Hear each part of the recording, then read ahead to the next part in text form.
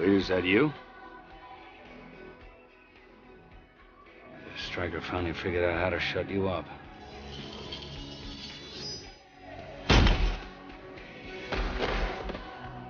Hey, it's me. Don't scratch. Just cleaning up the timelines. Look, eventually, you're gonna hang up the claws, and it's gonna make a lot of people very sad. Huh?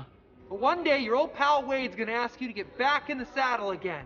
And when he does, say yes.